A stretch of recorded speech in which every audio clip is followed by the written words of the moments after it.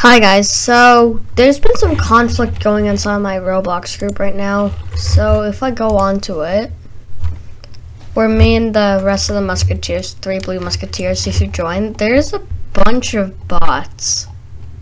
Like if I scroll down a little bit, this is me and Dark Age talking about what to do with it.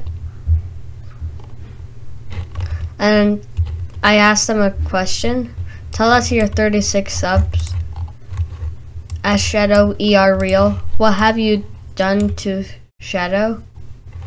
Important message, I will be exiling all people. I'll no way you're real, nobody's gonna believe you. Plus Darkish can have an autographed. This is the one which I don't understand.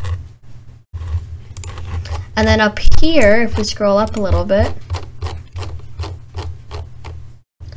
there's this guy, the same guy asking to be a mega fan rank which I gave him, but still, that doesn't make any sense.